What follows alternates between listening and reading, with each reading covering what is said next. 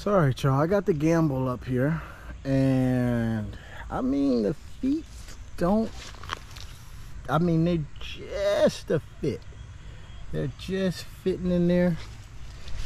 Um, but it is hanging, and I can pull on him, and he don't come down.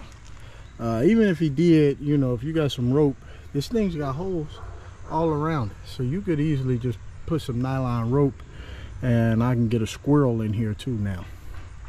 Uh, so I got it set up to where I can even if I want to I can have I can have a squirrel on there. That's what the small rope that I put in there is for. I didn't know if the raccoon was gonna fit. And just in case you know I can use that for the raccoon too but I, I like this gambrel. I like this gambrel so what we're gonna do here is uh, I'm gonna I'm gonna go ahead and skin this raccoon out and see what happens. Uh, looks like a, a female. This is a female.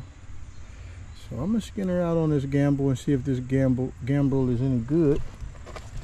And I'm gonna try my my new knife kit. I don't know how well it's gonna work, but I'm gonna try it out, y'all. Get back. GoPro stop recording.